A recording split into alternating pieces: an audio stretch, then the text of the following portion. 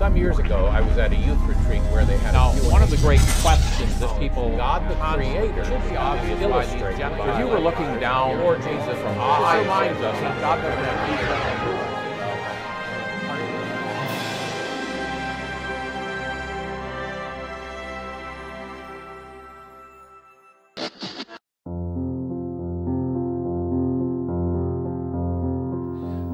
You'll notice that our chapter, this section, begins by talking about the unity of the body.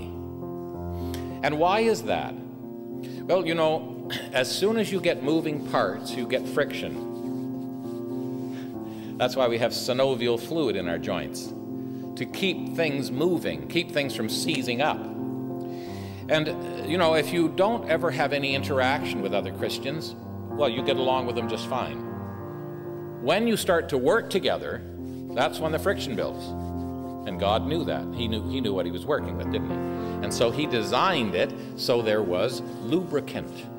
And this lubricant is described for us here in this little section. Um, lowliness, meekness, long suffering, forbearance, and love. What a beautiful list of graces for the people of God. What is the big issue here? Why is it so important, this bit about unity? Well, the apostle explains it to us. At the end of the chapter, chapter 3, he says, To him be glory in the church by Christ Jesus throughout all ages, world without end. Amen. That is called, a little earlier in the chapter, verse 11 of chapter 3, the purpose of the ages. This is the big idea, ladies and gentlemen. Glory for God through Christ by his people.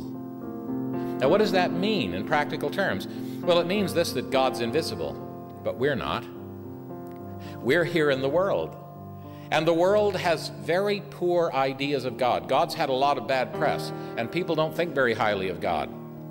And so here we are as local representatives of God, and the way we live, the way we act with one another, is going to manifest the God we worship.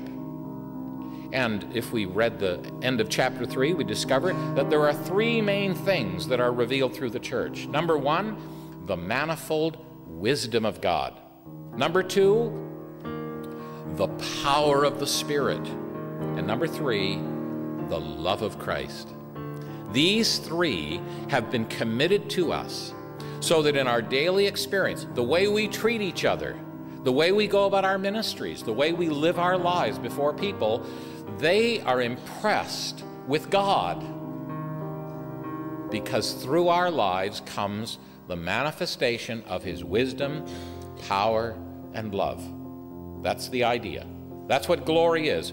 The outward, the visible manifestation of inward nature, the very nature of God, that men may see your good works and glorify your Father who's in heaven. That's the idea, isn't it? So, our mission in the world is to give people good thoughts about God, that they might think well of God because of the way we live in the world.